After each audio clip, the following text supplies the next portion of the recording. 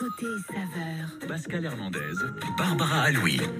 Avec des idées qu'on essaie de vous communiquer tous les matins, des idées de, de plats, de façons de faire et de produits. Et aujourd'hui, pour quelques minutes, on va s'intéresser aux orties.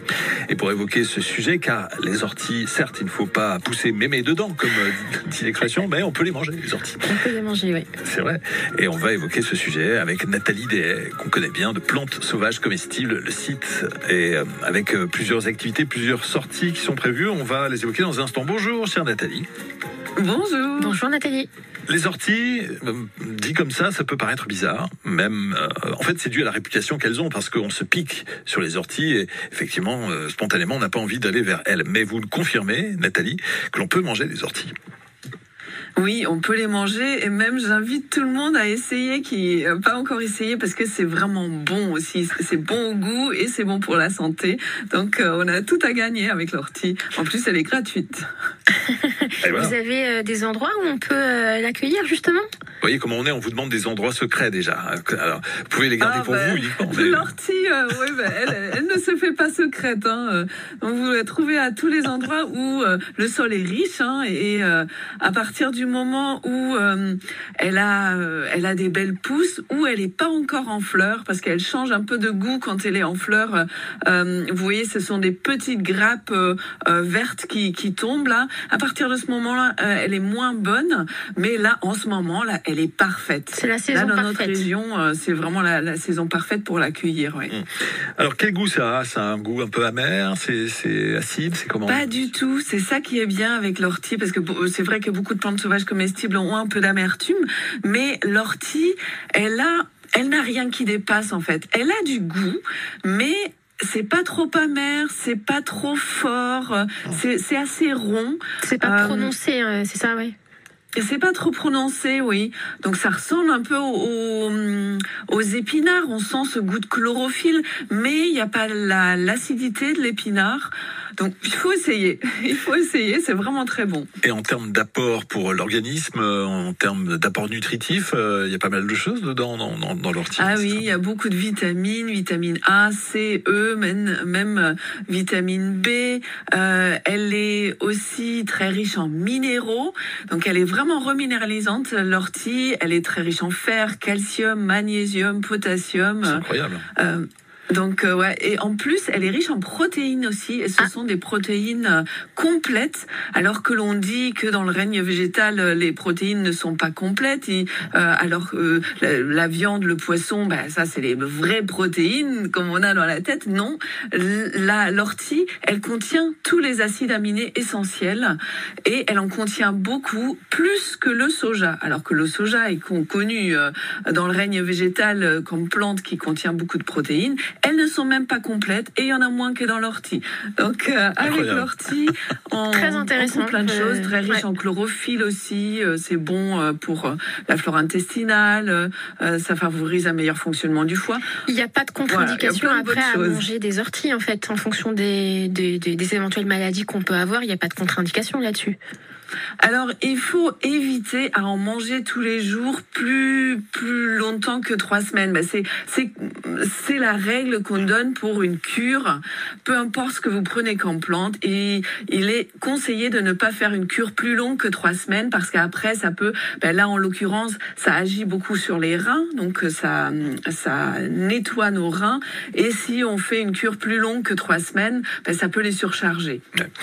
Bon, d'autres conseils à donner sur les orties dans un instant, si vous voulez bien, Nathalie Dehay, de plantes euh, sauvages comestibles, avec euh, notamment une recette, je crois, que vous avez préparée concernant un cake et une soupe aussi. On peut faire plein de choses avec euh, les orties, hein, évidemment.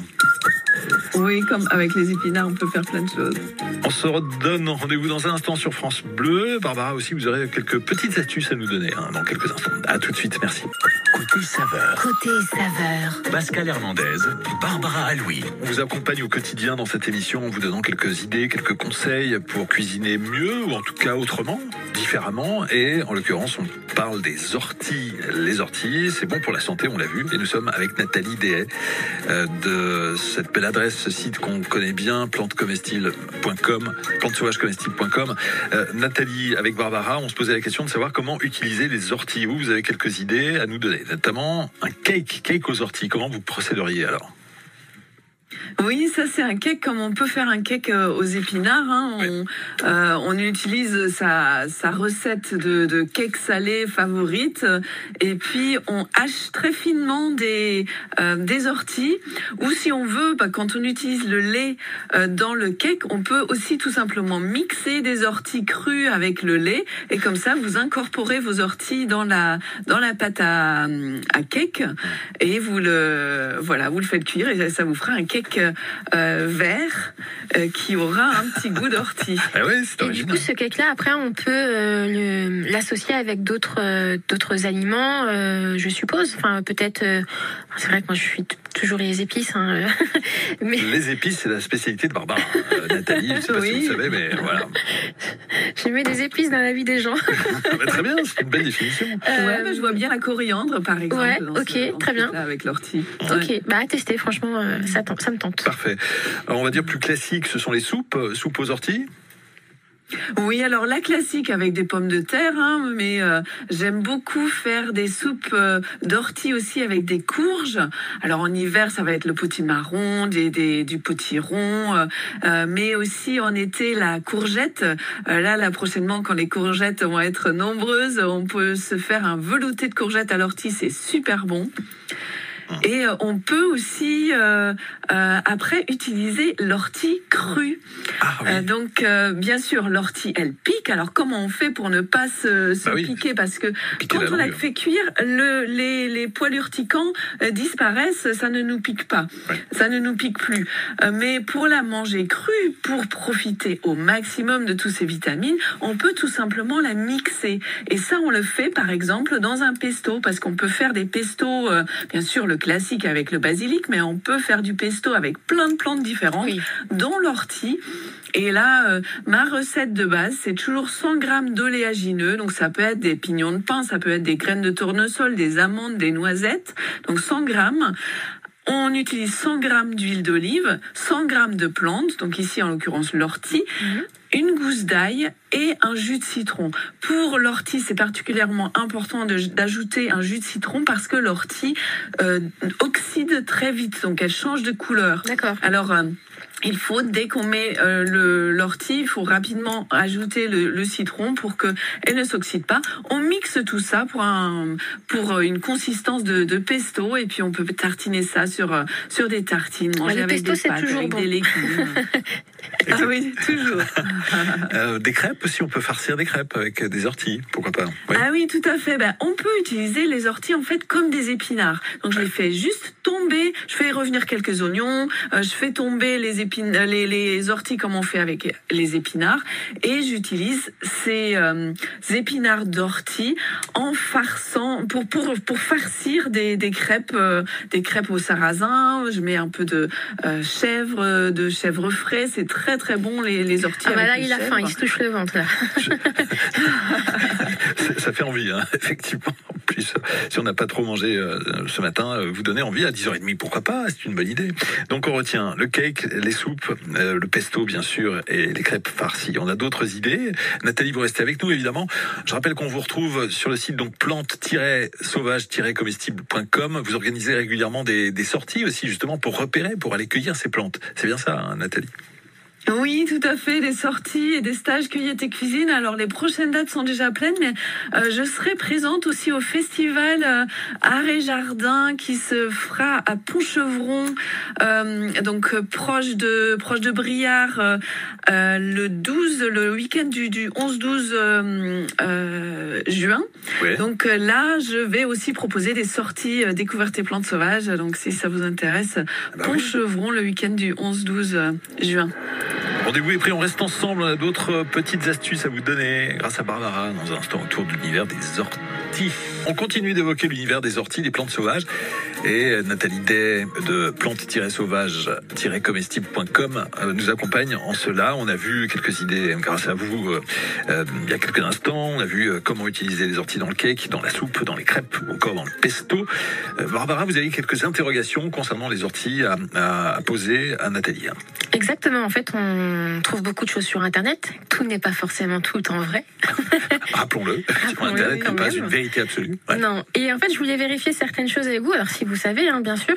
Euh, moi, j'ai j'ai lu qu'après la cueillette, il fallait laver les orties avec un peu de vinaigre blanc pour éliminer les bactéries et les petites bêtes et laisser tremper à peu près 5 à 10 minutes avant d'essorer. Est-ce que vous confirmez ou pas?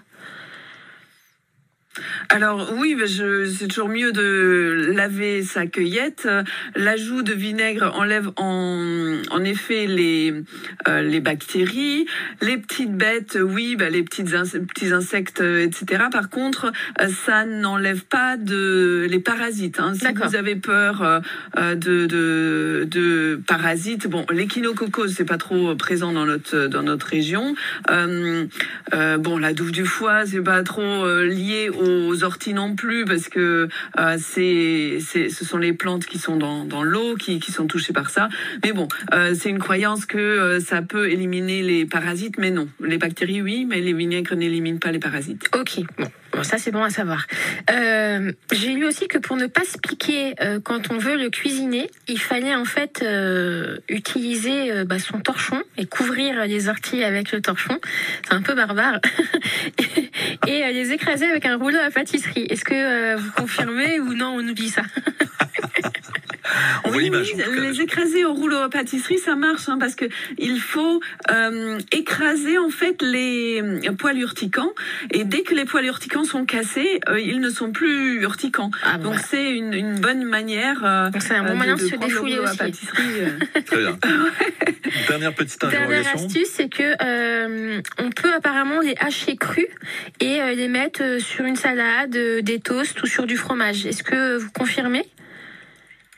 Oui, mais il faut les hacher suffisamment pour vraiment casser tous les poils urticants. Donc, euh, ben, passez-y avec le rouleau à pâtisserie, hachez bien, euh, voilà. Sinon, on a tout sur la langue et pour parler, c'est moins facile après. C'est ça. Voilà, C'est un peu, un peu compliqué.